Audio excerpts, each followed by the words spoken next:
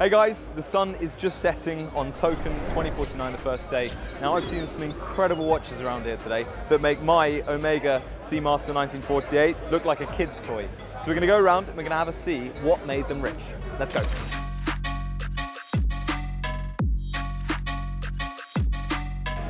Hi sir, so I'm with Cointelegraph YouTube. We're just wondering, because of your beautiful watch, what made you rich? I sold a cybersecurity company that I worked on uh, 28 years. So I wanted to ask you, what made you so rich?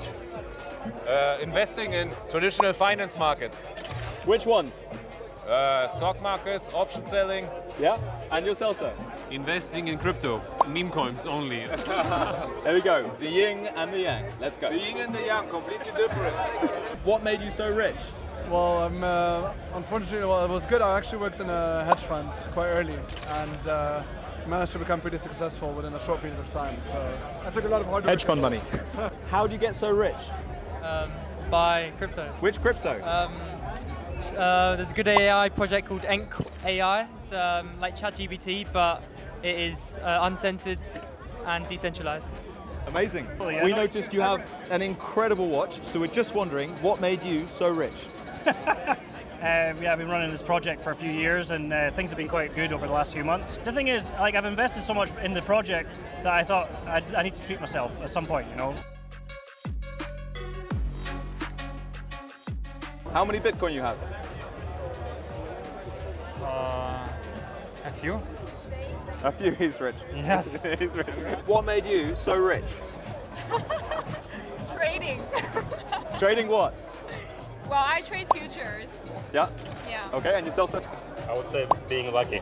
Being lucky. Yeah, being in the right place with the right time with the right people. Good stuff. Luck and futures contracts. Let's go. What made you so rich? What made me so rich? By buying uh, Bitcoin in 2014. Yeah? Yeah. You still got it? Yeah. Still got it. Still got it. Diamond hands. Okay, so my story in 2020, stock market crashes. Uh, I got a lot of money from a lawsuit right at that time. I put the majority in Tesla. It does great. I take my profits into crypto, so that's why there's a circuit board inside of it. And it's kind of this trophy, you know what I mean? I joined crypto in 2013, Yeah? so it is 11 years now. And you've still got Bitcoin or you sold? Of course, Yeah?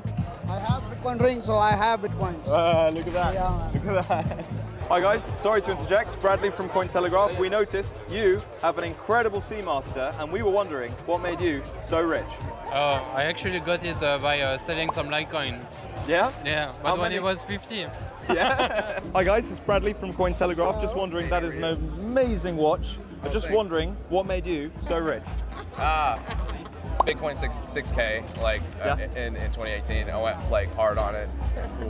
Amazing. We just wanted to say you have an amazing Datejust 41 and we wanted to ask you, how did you get so rich?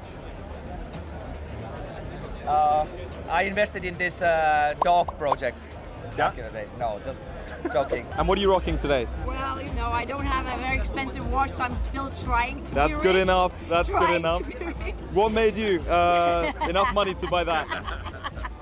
My startup in building infrastructure for developers to have all the tools in one place to build AI dApps. Amazing. Thanks guys. Thank Thanks a lot. I've been in crypto since 2018, Yeah. So a Rolex is not that expensive. Then, then. Where's he gone? A Rolex is not that expensive. What can we say after today? Well, most of the people that have nice watches either have 100 Bitcoin in their wallet or they've sold some company. So maybe a nice watch does mean lots of money. But how they get that money, well, that varies. People have said it's via happiness, maybe social reasons, or it could be as simple as buying crypto uh, in the past and then coming back to the future and selling it. So those are the conclusions. I'm Bradley, this is Cointelegraph. Thanks for joining us today. See you later.